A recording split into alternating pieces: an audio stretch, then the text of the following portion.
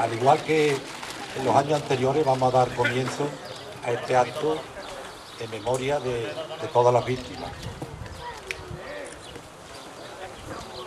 ¿Cómo se va a desarrollar este acto?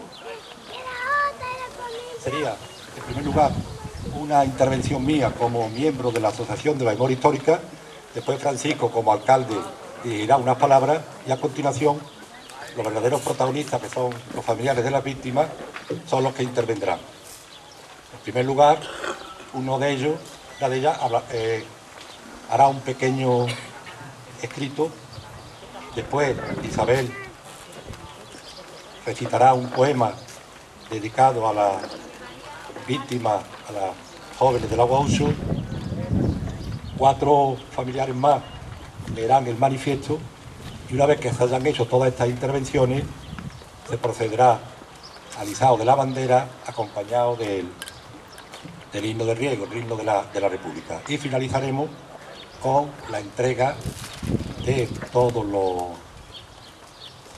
diplomas a los familiares de las víctimas. En cuanto a eso, tenemos que decir que se ha intentado buscar el máximo número de, de familiares. Puede ser que algunos que estén aquí presentes no se les nombre, porque no tengamos ningún dato de ellos. Al final, que nos lo diga, lo apuntaremos y los próximos días se le hará entrega.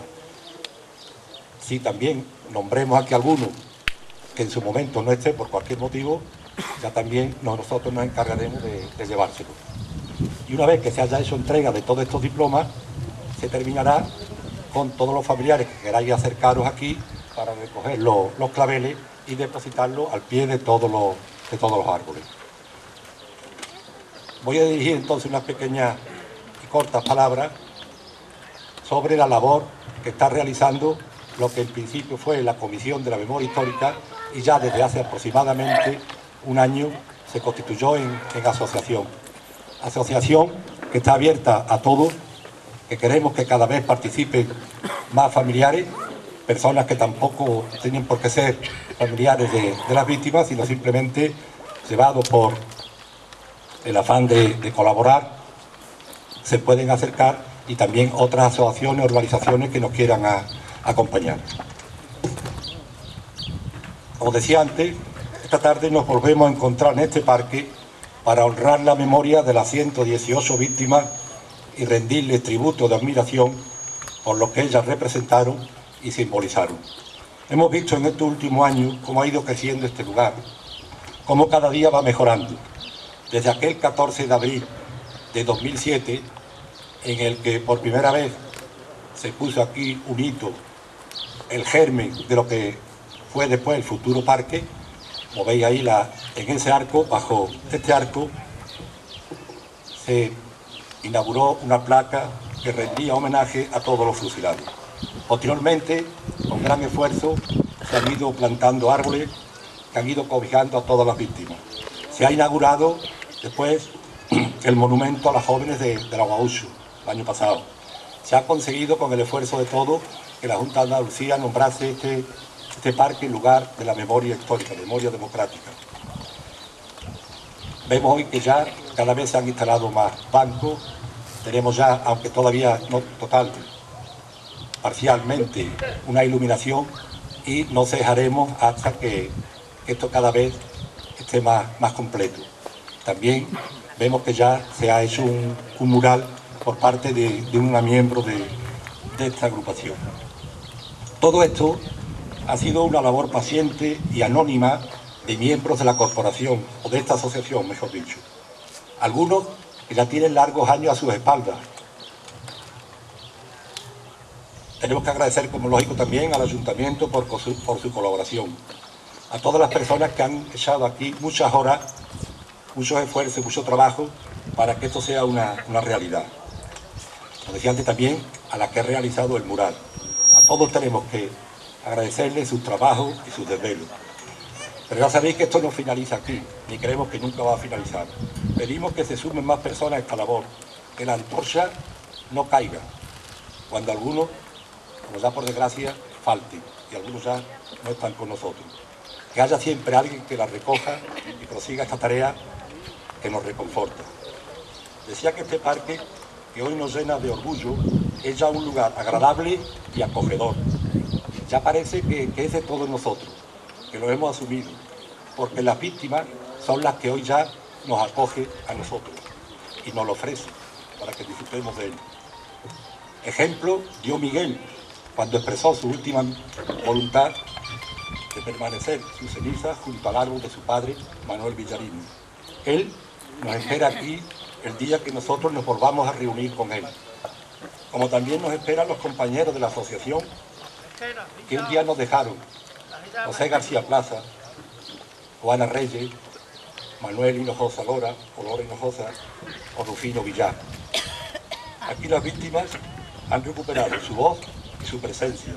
Ahora están aquí con su ejemplo de dignidad y altura moral, muy por encima de sus verdugos, que tuvieron su hipócrita momento de gloria efímera y vana, y que hoy están relegados al olvido.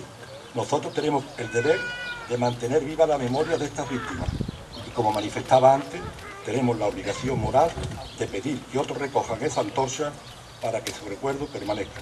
Es lo menos que les debemos. Gracias.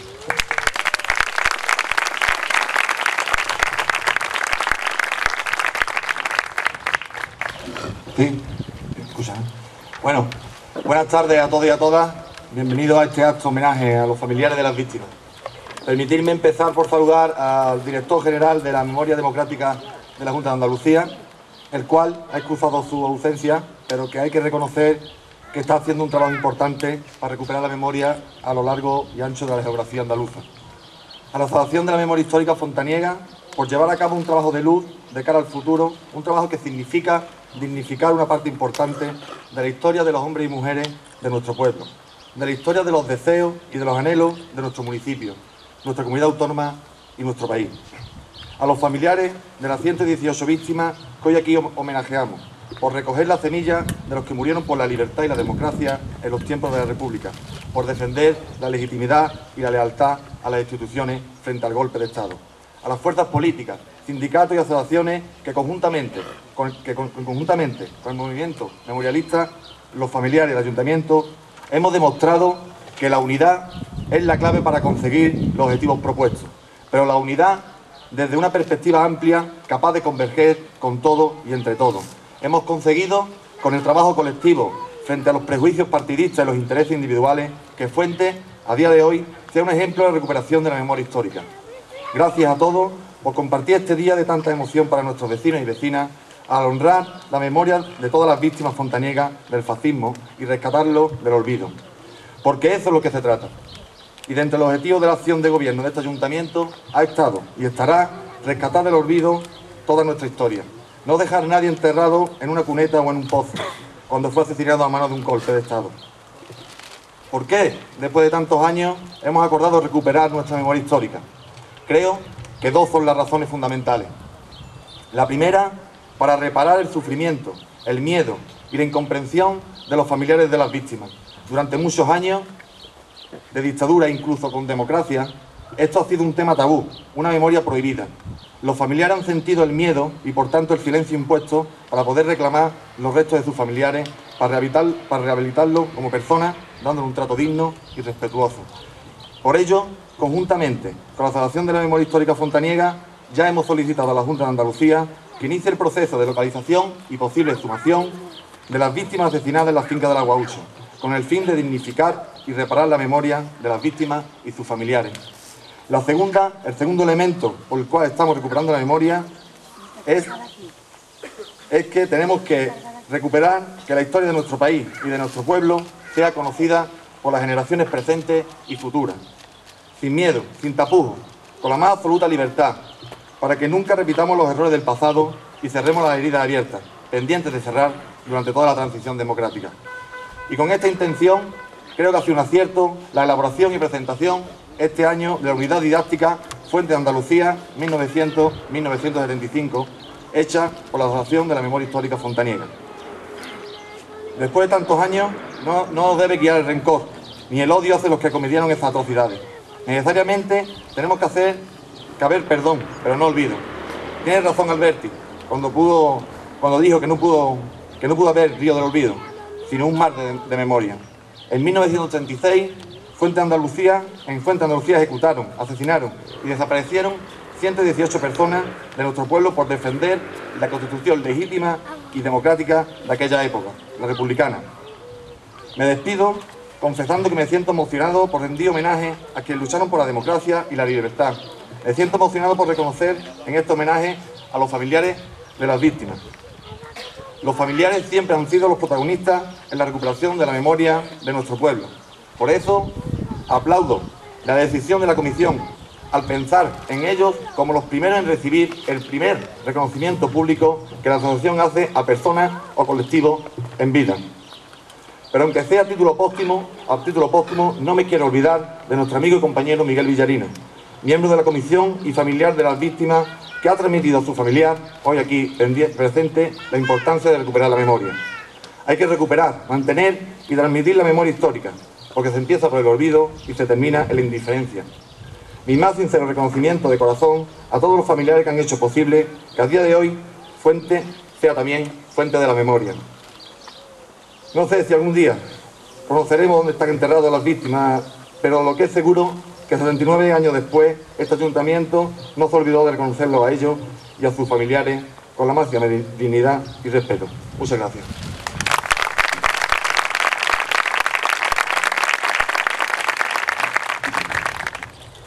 Son casi 80 años los transcurridos.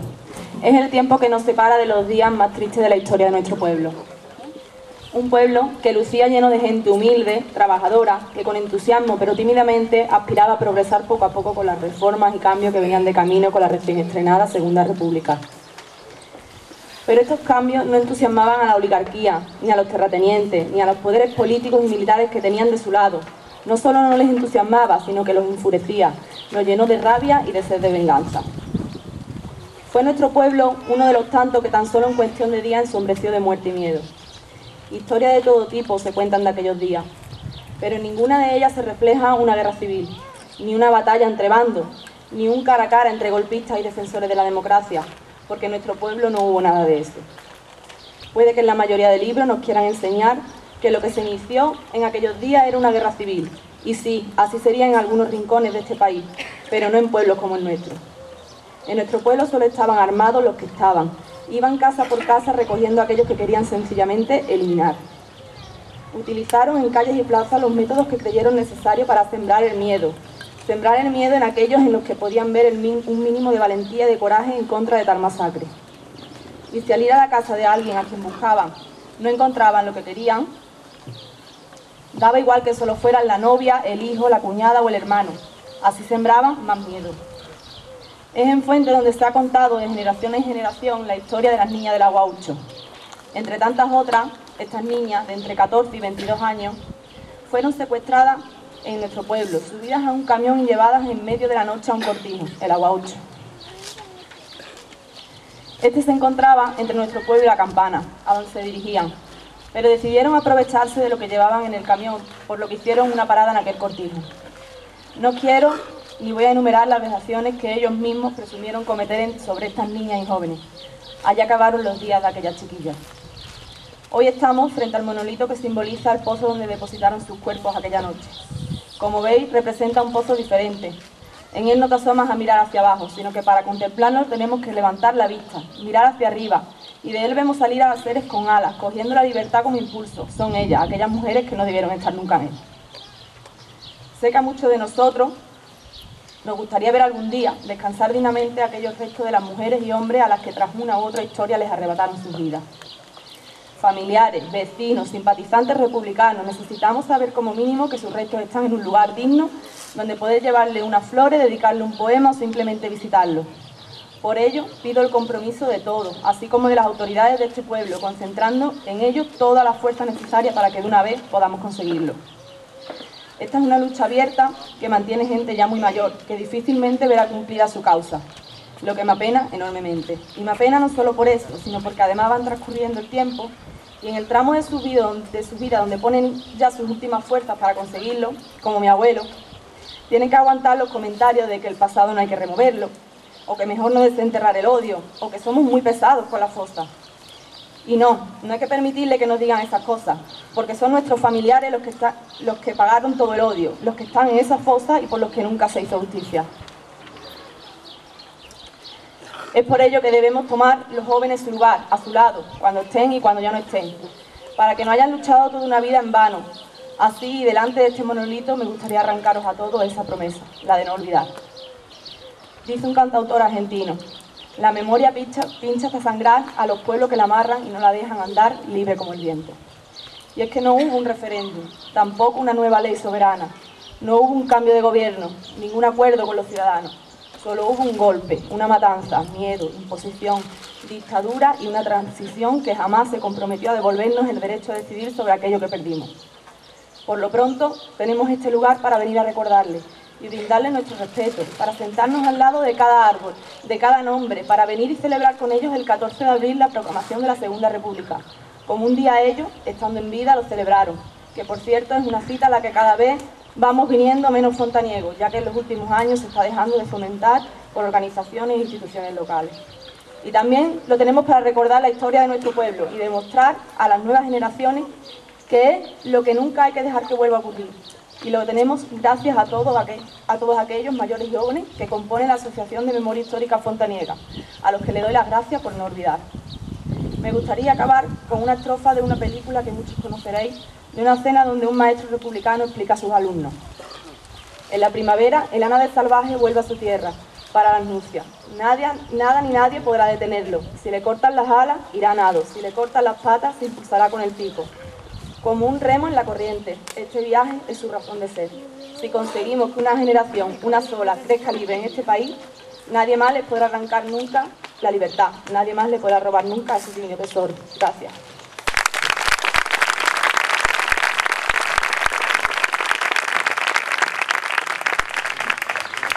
Buenas tardes a todos y todas, bienvenidos al acto. Yo voy a leer una voy a leer una poesía que ha escrito Mar López Santos y se la dedica a las niñas de la. Mientras el cielo pinta nubes en las etéreas alas de las palomas, una puerta sin cerradura te seduce y te incita a pasar del calor a la sombra a escuchar en el murmullo del viento entre el vacío espacio de la silueta, el esotérico eco que silba y enreda allá, en el hueco húmedo vientre de acero de un pozo invertido. Con indulgencia y blanca ternura, un escalofrío de paz estremecida se libera súbito pidiendo abrazo. Soñando con disolverse en la brisa, a tienta se eleva entre penumbras el amargo olor a sal ensangrentada que tónico emana del pozo cegado. Bajo la planta del círculo de metal implora Gea con los ojos cerrados, un poco de luz en tanta oscuridad por la inocente sangre derramada. Su pizarra de acero corte reveladores trazos de aire y agua. Resbalan llorando por las paredes con lágrimas de oxidado espanto. Suspensa en el brocal del mausoleo, una paloma de luz extiende sus alas. Pronta a emprender su eterno vuelo, espera serena a sus pasajeras almas. Entre estelas de dolor diseminado, como salinas gotas de tanto llanto, se evaporan cándidos los corazones rumbo a constelaciones en calma. Condenados a su trágica vergüenza, dejan atrás a los malévolos gusanos que brindaron con sangre de amapolas y troncharon los patios más tempranos. Allá, en el solitario recinto de escombros, malditos quedarán por siempre sepultados con legítimo desprecio los asesinos gusanos.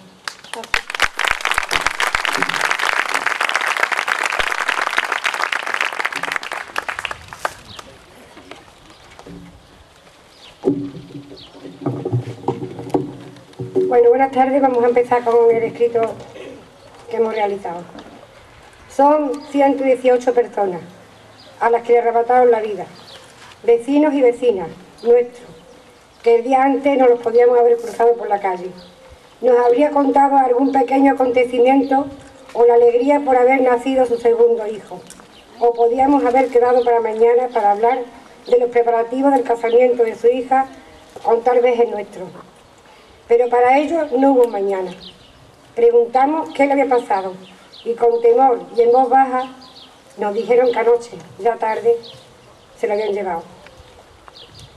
A no saber dónde. Esperamos con angustia Miedo, esperamos en Barbe. Nunca más lo volvimos a ver.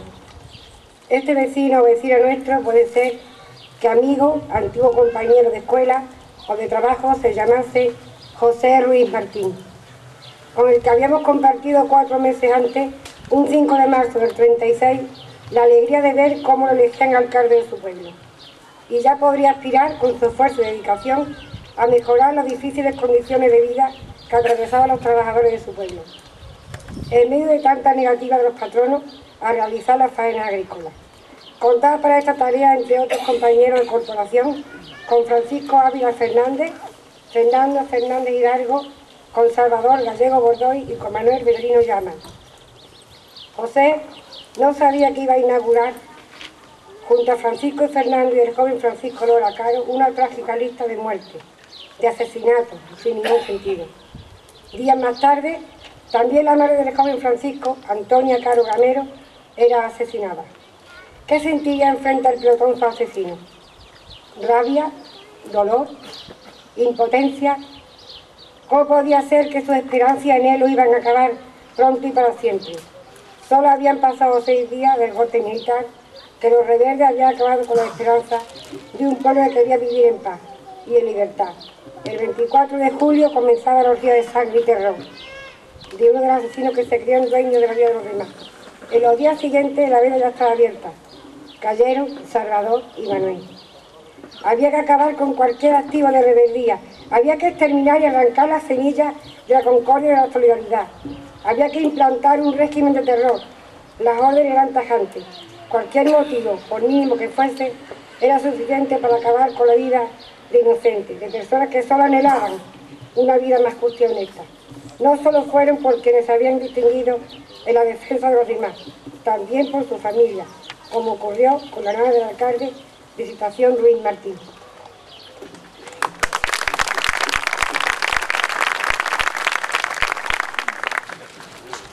Que el terror paraliza a todo un pueblo y lo sumiera en el silencio y la impotencia.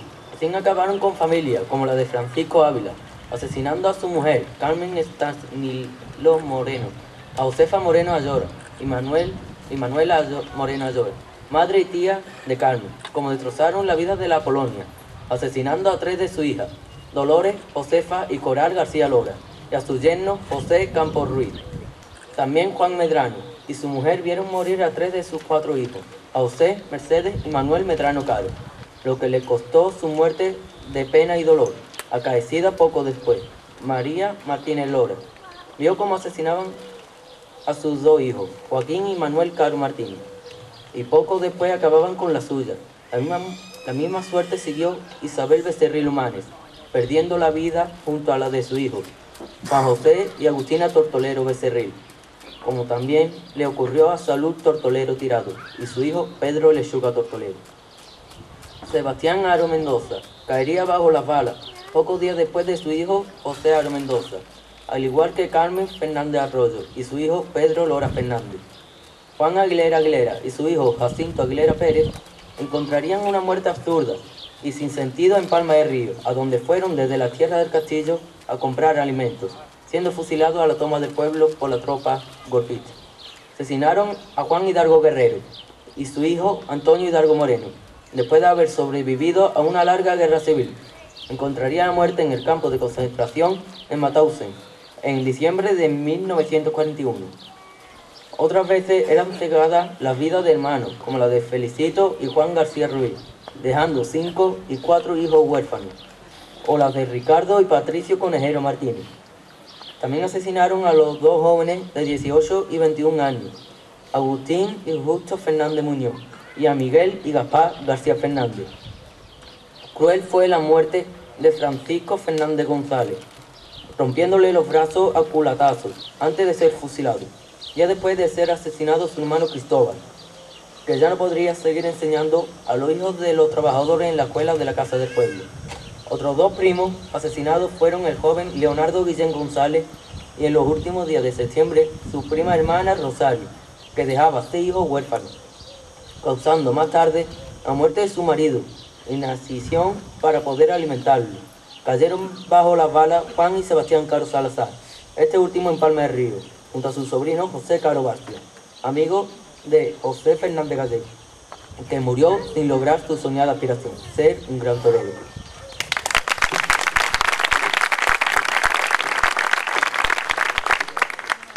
Si tuviese una mayor muestra de crueldad y sin razón, cuando de asesinatos a sangre fría se trata y todos ellos muestran un grado igual de besanía y enseñamiento, podríamos calificar los que se consuman en lo de las jóvenes Josefa González Miranda, María Caro Caro, Dolores García Lora y sus hermanas Josefa y Coral, Manuel Moreno Ayora, María Jesús Caro González, Joaquina Lora Muñoz y María Lourdes León Becerril, dejadas, asesinadas y arrojadas al pozo del Aguaucho.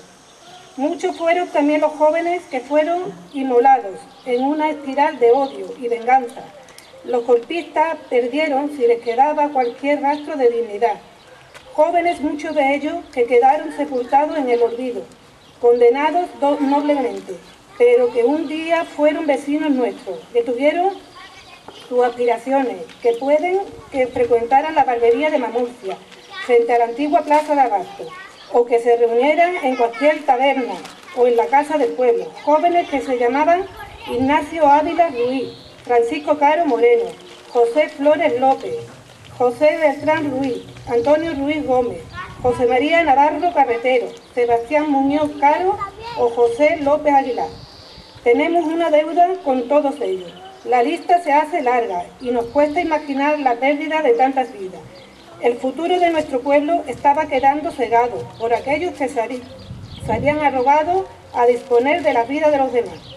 Tenemos que seguir recordando a José Vega Carmona, Esteban Ruiz Lechuga, Manuel López Ramos y Luis González Caballero, a Francisco Flores Lora, Antonio González Moreno, Cristóbal Lora Gómez, José Naranjo Ruiz o Francisco Lora Aguilar, que su memoria perviva. Puede que algunos los hayamos visto enabolando las banderas republicanas cinco años atrás, en la jubilosa manifestación del 15 de abril de 1931. ¿O no era aquel Antonio Gamero Hidalgo, junto a Juan Antonio Fernández Carmona, Jerónimo Hidalgo Adame y Juan Antonio López Tortoredo? Allí posiblemente estaría José Jiménez Lora, repartiendo a sus vecinos José Caro Torres José Ruiz García y Pablo Mirando Milla, la gaseosa que junto a sus hermanos elaboraban en una vivienda de aquel paseo. A algunos otros puede ser que los recordáramos cuando junto a pequeños agricultores se desplazaron a Sevilla en aquel verano de 1931 para pedir fondos para obras urgentes que diesen empleo y viésemos a Manuel Conde Barrera, Juan Antonio Jiménez Luis, Fernando Romero González y a Manuel Muñoz Fernández. ¿Por qué no recordar cuando en junio de 1933 la patronal se negaba a aceptar las bases de trabajo ya aprobadas y se declara una huelga general, de la que Fuente participó. participaría en ella el joven Ángel León Caro, junto a Antonio Bejumea Romero, José Caballero Lora y Julián Fernández López.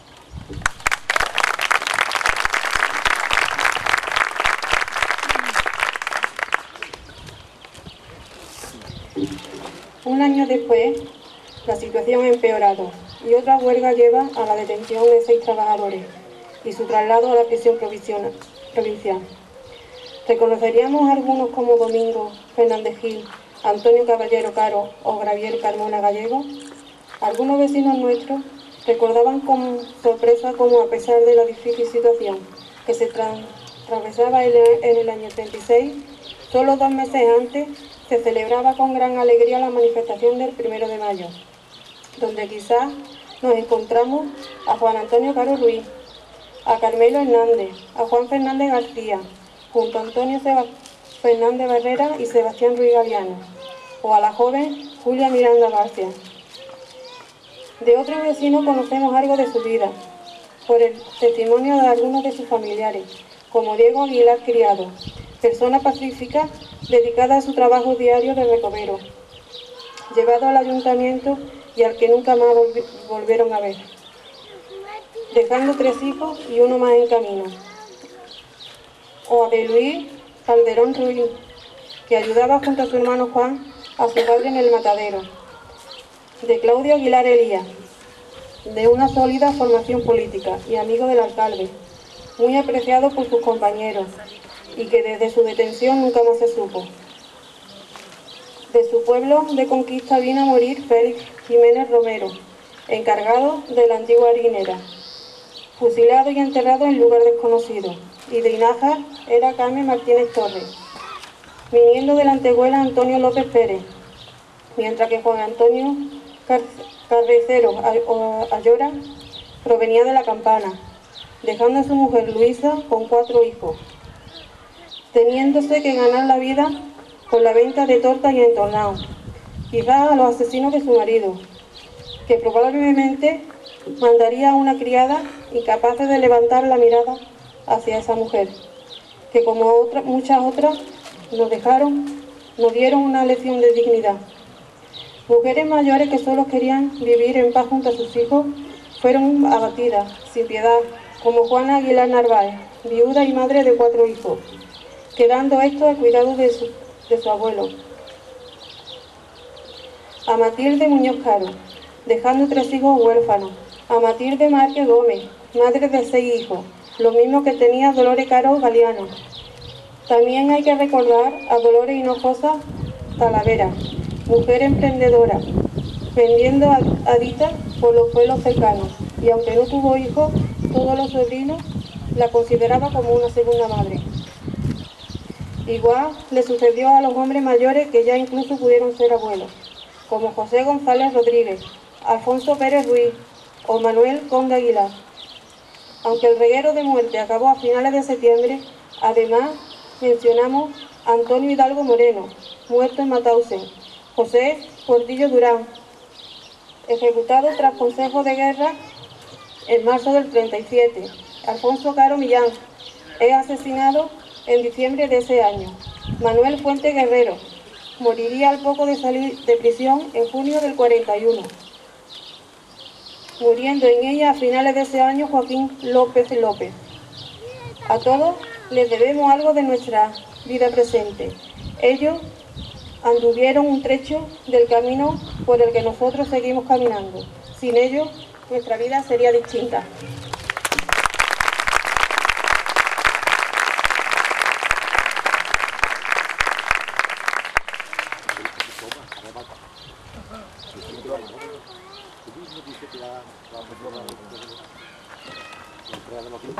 Vamos a hacer la entrega de, los diplomas. Están acercando los familiares, recogiendo.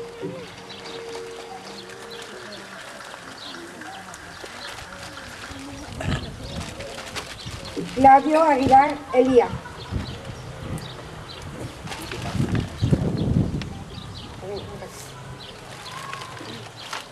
Juan Aguilar Narváez. Francisco Ávila Fernández.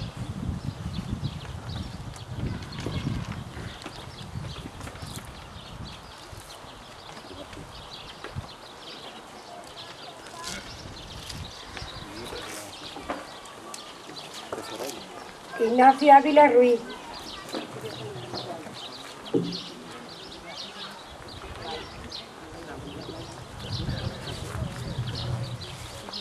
Antonio Caballero Muñoz.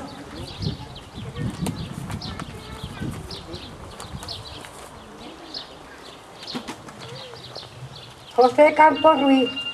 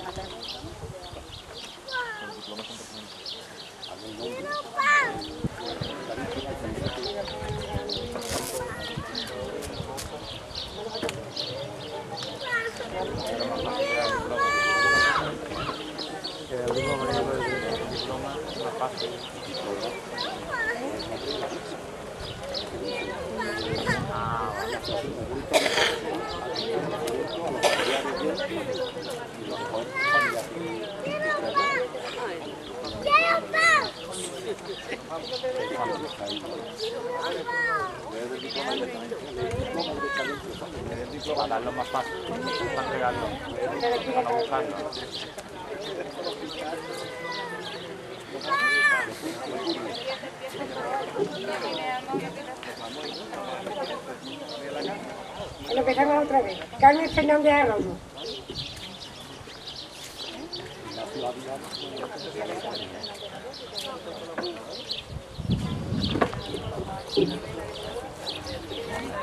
Cristóbal Fernández González.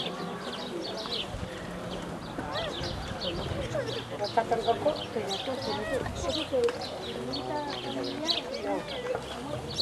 que a recoger.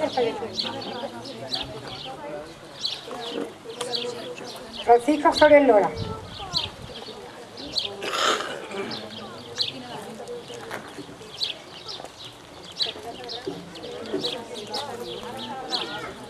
Antonio Gamero Hidalgo.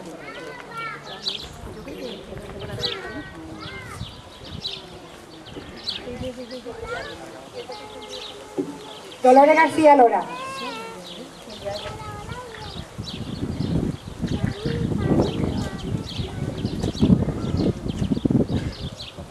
Felicito García Ruiz.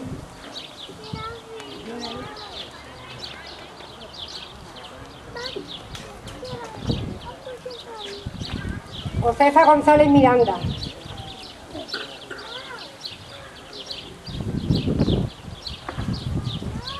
Leonardo Guillán González. Guillén. José Aro Mendoza.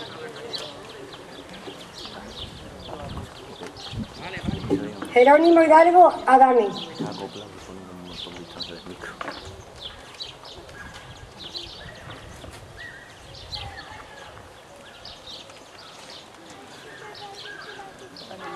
Manuel Conde Barrera.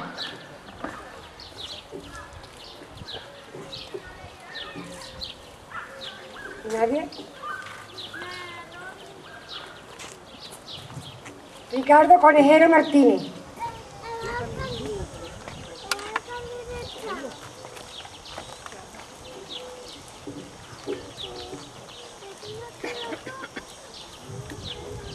Manuel Caro Martínez.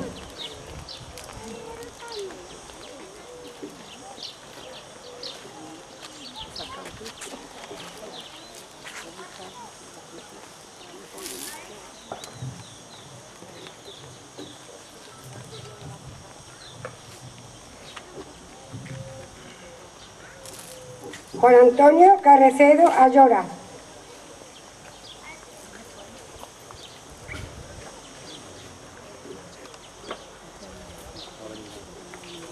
Gabriel Carmona Gallego.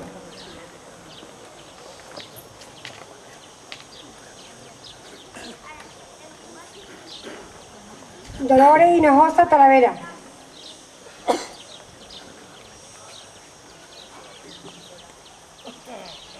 José Hidalgo Guerrero.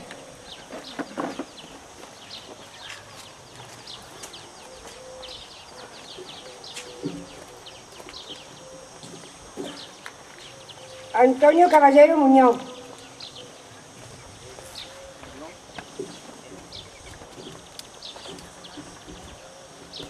Juan Aguilera Aguilera.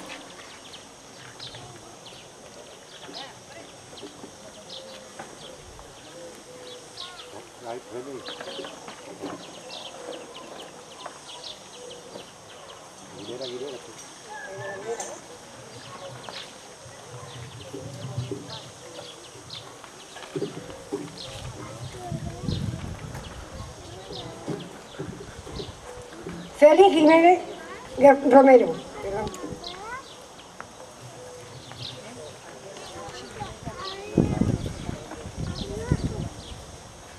Ángel León Caro.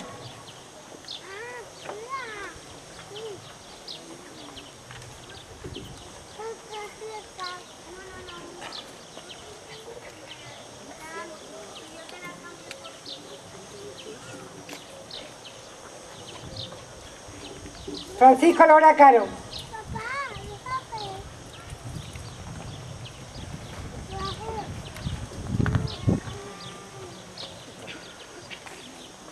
Joaquina Lora Muñoz.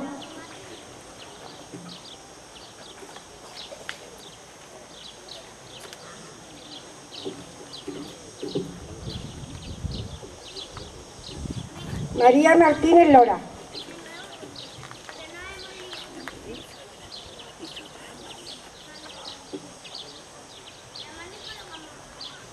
Manuel Medrano Caro.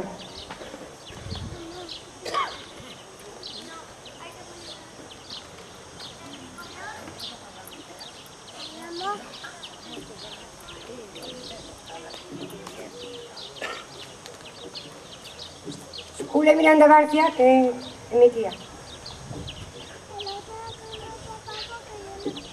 Manuela Moreno Ayora.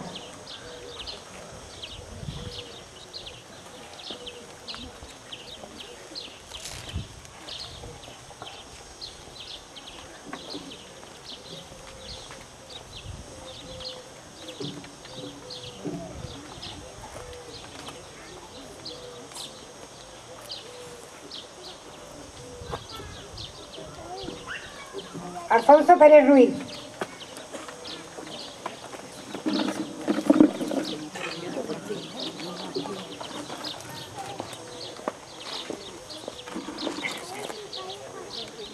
José Ruiz Martín.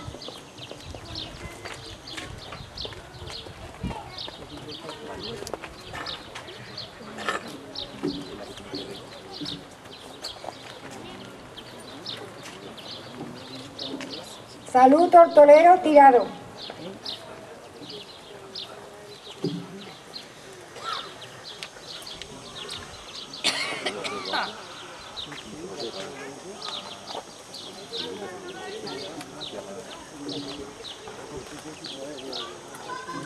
Juana Aguilar Narváez.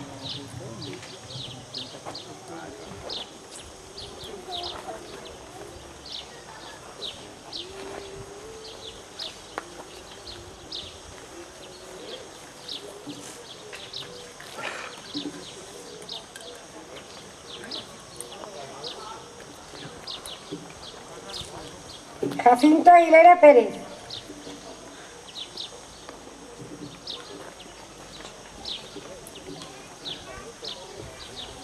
Ignacio Ávila Ruiz.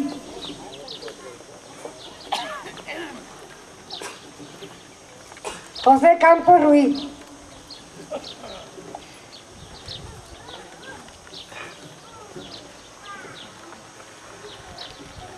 Joaquín Caro Martínez.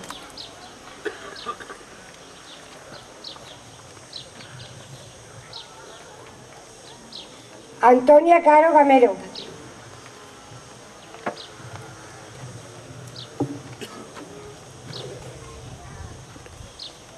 Manuel Condes Aguilar.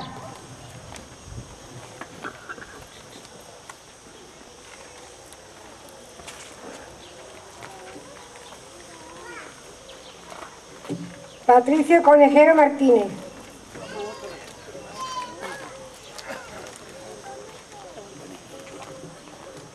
Carmen Estanilao Moreno.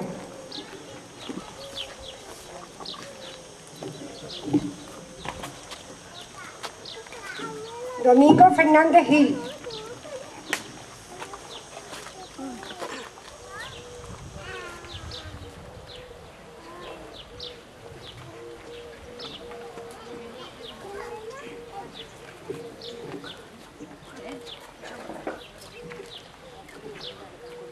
Francisco Fernández González.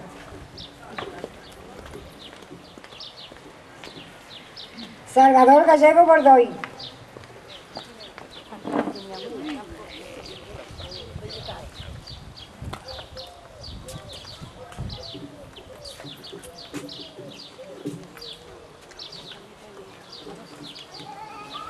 Coral García Lora.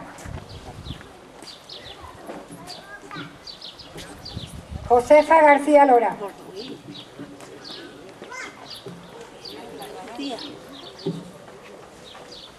Juan García Ruiz.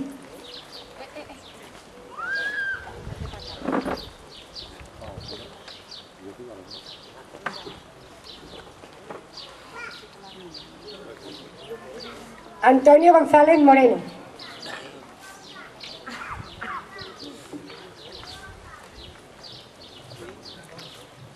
Rosario Guillén González. Sebastián Aro Moreno. Juan Hidalgo Campos.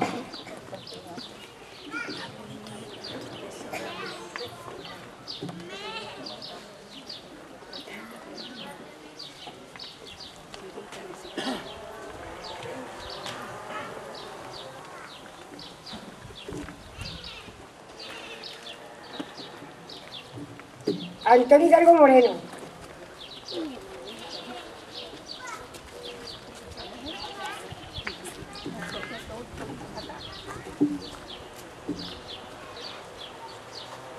José Jiménez Lora.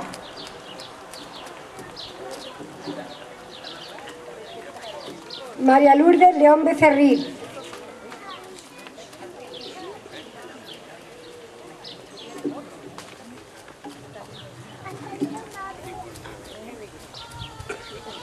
Antonio López Pérez.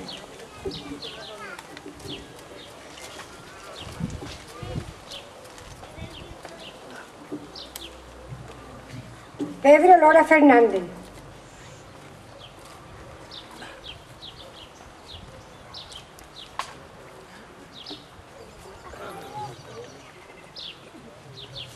Matilde Márquez Gómez.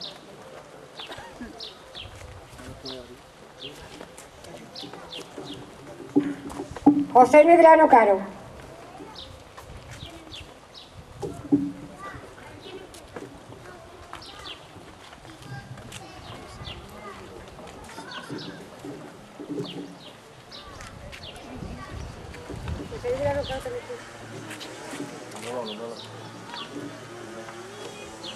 Mercedes Medrano Caro, que son hermanos.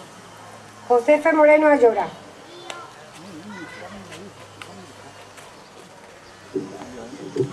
Matilde Muñoz Caro.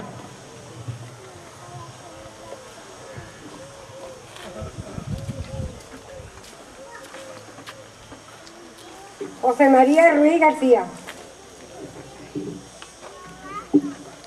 Visitación Ruiz Martín.